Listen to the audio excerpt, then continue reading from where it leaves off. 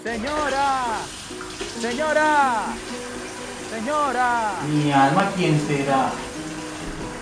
señora, Ay, vaina, otra vez el bendito turco este. señora.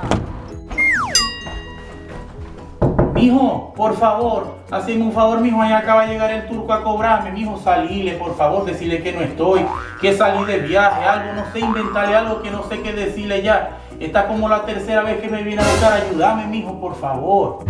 Ah, mijo, otra vez vos con la misma vaina. Qué molleja, no, yo no le quiero salir más a ese señor. Además me estoy afeitando.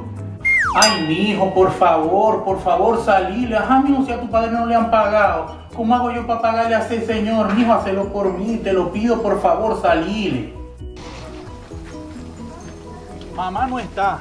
Ahí está. Yo sabía que iba a mandar al hijo. Otra vez tú. ¿Hasta cuándo me vas a salir tú? Ya esta es la tercera semana que vengo a cobrarle a tu madre. Me debe mucho dinero. Yo la vi ahora que se asomó por ventana cuando yo estaba llamando. Tengo rato llamando. Por favor, dígale que salga su madre, que yo sé que ella está aquí.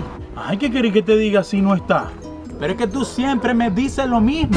Ya estoy cansado de lo mismo todos los días. Yo sé que ella está ahí, se está escondiendo. Pero dígale que yo mañana vengo a cobrar mi dinero y no me voy a ir hasta que me pague. Hasta mañana tiene chance.